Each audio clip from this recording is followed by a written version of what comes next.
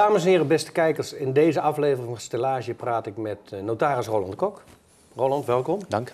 Ehm, je zou zeggen, begin met iets wat, wat misschien helemaal niet past bij een notaris. Want een notaris gaat om Nederlands recht, hè, daar hebben we het toch altijd over. Toch zijn we een samenleving die steeds meer internationaal aan het worden zijn. Binnen Europa kan er vrij gereisd worden. Hè. We hebben te maken ook met veel mensen die hier komen werken. Hè, Bijvoorbeeld ook uit, uit Polen. En je hebt geconstateerd dat daar, um, dat daar eigenlijk een hiaat zit. Een hiaat zit als die mensen bijvoorbeeld een Nederlandse partner ontmoeten, dingen willen regelen. Want dan is het onzeker wat voor consequenties dat heeft voor hun thuisland. Hun thuissituatie, waar ze eventueel ook nog vermogen kunnen hebben of een ja. erfenis of wat dan ook. Kan je er iets meer over vertellen? Ja, graag.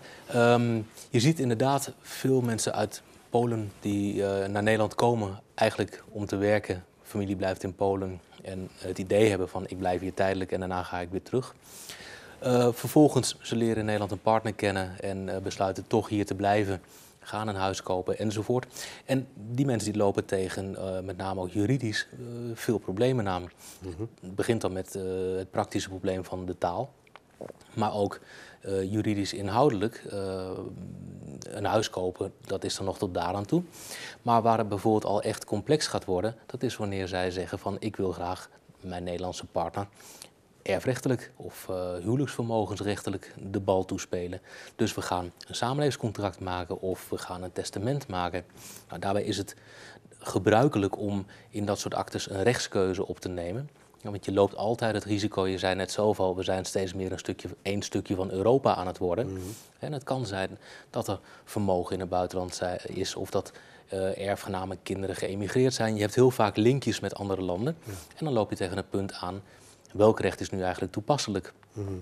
Ben je er wel eens tegen aangelopen bij dat soort botsende situaties, botsende belangen? Of, of... Jawel, jawel. Ja? Neem uh, het klassieke voorbeeld van Nederlanders die uh, een zomerhuisje in Frankrijk hebben. Nou, die maken een testament of een samenlevingscontract hè, waarin ze zeggen: Ik wil dat mijn, uh, mijn partner benoem ik tot erfgenaam. Nou, dan is natuurlijk wel de vraag: um, vererft dan dat zomerhuisje in Frankrijk ook mee?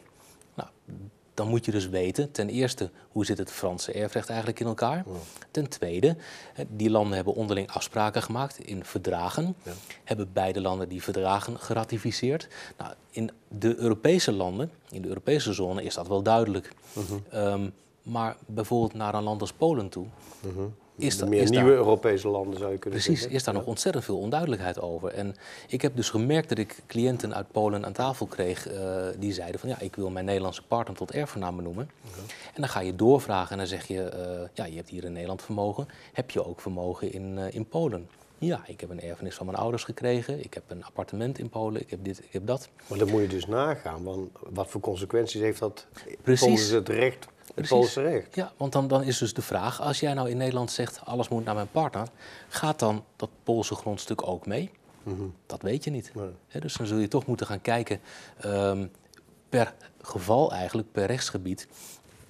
Hoe ziet, ziet het Poolse internationale privaatrecht eruit? Hoe ziet het Nederlandse internationale privaatrecht eruit? Zijn er geen kantoren in, nou laat ik eens Amsterdam noemen of Rotterdam?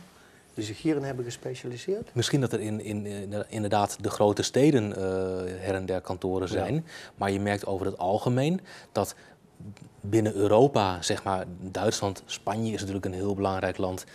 Daar is het allemaal wel duidelijk. Maar je merkt dat er ten opzichte van um, de Oost-Europese landen heel veel onduidelijkheid is. En, ja. en dat is natuurlijk iets wat nu een grote vlucht gaat nemen als je ziet hoeveel met name Poolse mensen ja. hier in principe tijdelijk komen, maar toch blijven hangen, hier hun toekomst gaan opbouwen. Een Nederlandse partner. Een Nederlandse krijgen. partner het goed geregeld willen hebben. Ja. Maar dan wel tegen dat soort problemen aanlopen. Dus het is een kwestie van ontzettend goed opletten en goed uitzoeken. Je bent bezig om je daar wat in te specialiseren. Je hebt ook een stagiaire uh, een opdracht gegeven. Ja, klopt. Ik, ik wilde daar echt eens werk van maken. Simpelweg omdat ik zelf als notaris ook tegen die problemen aanliep. En het mij ontzettend interesseerde. Dus um, ik heb een uh, stagiaire van de Hogeschool Utrecht uh, gevraagd om, om dat op erfrechtelijk gebied eens helemaal uit te zoeken. En die is ermee bezig. We, we zijn echt aan het kijken dat we daar vakinhoudelijk goed advies kunnen gaan geven en, en kijken dat we daar die mensen goed van dienst kunnen zijn. Ja, notaris blijven ook maar studeren. Hè? En dat sowieso. Ja, ja dat hoort er altijd bij. Maar ja. dit is dus Dit, is toch echt wel een toegevoegde component. Wat betekent dat je voor een deel dus in het internationaal privaatrecht duikt. In dit Ja. geval ook het Poolse recht. Ja, klopt. Het idee van internationaal, internationaal privaatrecht, wat men over het algemeen heeft, dat is dat het een soort van overkoepelend recht zou zijn. Maar dat is niet waar. Het zijn eigenlijk voorrangsregeltjes Ja.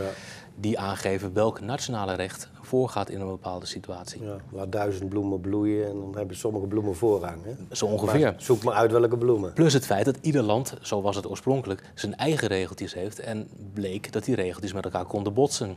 Hè, dat Ja. zie je bijvoorbeeld op het gebied eh, wat iedereen wel in zijn omgeving kent, het nationaliteitenbegrip. Ja, er zijn mensen die twee nationaliteiten hebben. Soms ook zijn- niet kunnen afstaan aan nationaliteit. Ja, er zijn ook mensen die geen nationaliteit hebben, apatriden. Eh. Dat heeft allemaal te maken met die internationale eh, linkjes die er zijn en de nationale wetgeving die dat oplost. Of Ja. ook niet. Ja.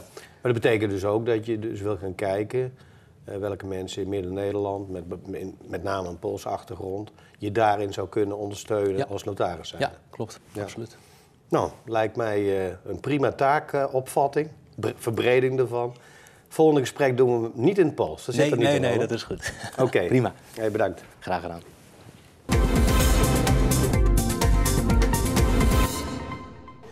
De stad van smalle winkelstraatjes en Flipje, het beroemde fruitbaasje. Dat is Tiel.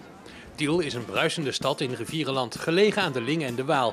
Verken het historische stadscentrum en ga funshoppen in de leuke winkelstraatjes. Ik hou helemaal niet van winkelen, maar ik schijn hier echt eh, helemaal los te gaan. Ja, ik vind het leuk. Alle winkels die ik zoek zijn er en eh, ook leuke kleine winkeltjes. Ja, het is echt... eh, ja, voel me hier goed. In Tiel vind je de grotere bekende winkelketens, maar ook een aantal zeer unieke winkels. Zo kom je onder andere smaakvolle kookwinkels tegen en kun je snuffelen in leuke boekenwinkels. Daarnaast is er op zaterdag en maandagmiddag op het plein en varkensmarkt de warenmarkt met vele kramen. Ik vind het allemaal leuk. Het is allemaal gezellig. Het is, eh, Tiel is best leuk. Het station van Tiel bevindt zich op loopafstand van het centrum. Wie met de auto komt kan parkeren op een van de twee grote parkeerterreinen even buiten het centrum, de Waalkade en het Taluut. Ik ben zelf zeven jaar hier weg geweest in Den Bosch. Hele leuke stad. Maar toch weer naar Tiel gekomen omdat het zo gezellig en klein en knus is.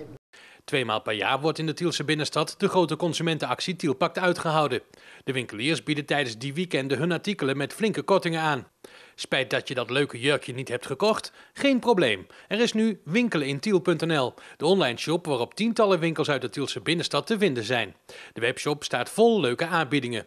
Daarom nodigen we u graag uit om eens gezellig te komen funshoppen in het winkelhart van Tiel.